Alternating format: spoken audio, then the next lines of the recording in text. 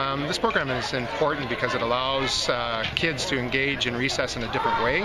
Um, we're building on what teachers are doing very successfully in the classroom and the gym, and it's just another tool that the teachers can have to help them with uh, noon hour programs and after school programs and keeping our kids healthy and active.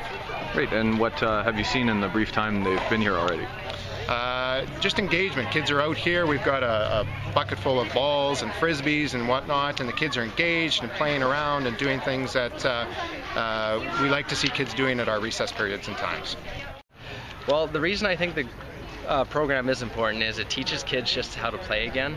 Just gives them the basic concepts to play, whether it's throwing a frisbee, throwing a football, just the idea of a game that they can play when maybe they might be bored. It also gives the kids a great leadership component in their lives. By teaching kids to teach their peers, it's a pretty incredible thing just to see them get a group together instead of a teacher telling the kids what to do. If another kid is explaining to them the power of a game, it's incredible. I believe it's going to give them a great work ethic ethic for the future too.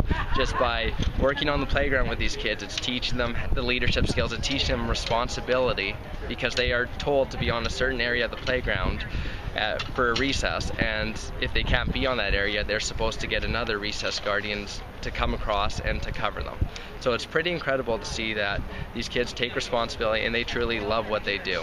Like when I had a meeting cup, or I went to a conference uh, last year, and a, a, mom came up to me, and her son has been part of Recess Guardians for the past three years, and to see her talk to me and say exactly how much it changed his life was just incredible. Like he used to dread going out for recess, he'd get bullied, and now he absolutely loves what he does at recess time. He actually looks forward to it and looks forward to being active, and I think just having someone say that about their son is truly incredible, and just yeah, it made a world of difference.